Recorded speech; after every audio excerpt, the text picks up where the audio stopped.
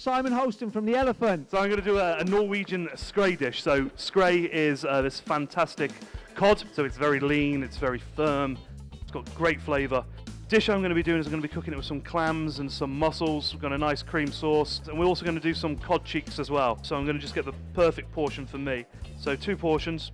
If you can see as well, it's fish is just so clean, so so clean. So the cheeks, lovely piece of meat. It's, it's got a different texture to the to the loin. So we're going to make a, a fish sauce. Uh, we're going to make this from the mussels. So shallots in the pan. We're going to put a little bit of um, garlic in there as well. Uh, we're going to put some Pernod in there, just to give that a boost up. Going to put a little bit of fennel as well. All we want from the mussels here is for stock. We're going to pull the mussels out of the shell and then blend it back in with everything that we've got. Some white wine, and we're going to get that flavour out. Stock coming from those mussels, the Pernod, the white wine, lovely bit of flavour. My clams are just opening up. Going to add a little bit of cream to that, a little bit of butter, and then all that mussel meat to get the flavour back into it.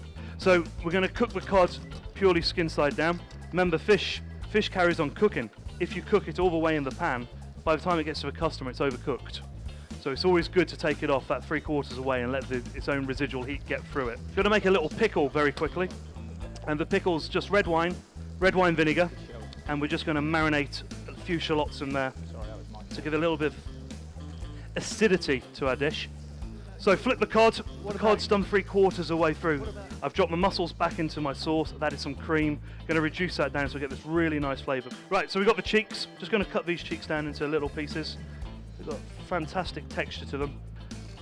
Get some spinach out. So we're going to just put a few mushrooms through this as well, different texture. We tend to use girolles. Going to bash those through. So I'm going to just drop my cheeks back into my sauce and bring those up. Going to drop my smoothies in there. I'm going to drop a few bits of salty finger in there as well. So again, adding more salt, so let's be careful of the flavours we're getting. So I've got this lovely, lovely sauce. So loads of flavour coming out of the mussels. Some of the pickled shallots. To stick those around. So we're going to finish it with our lovely bit of skrei on there. So lovely skrei dish here.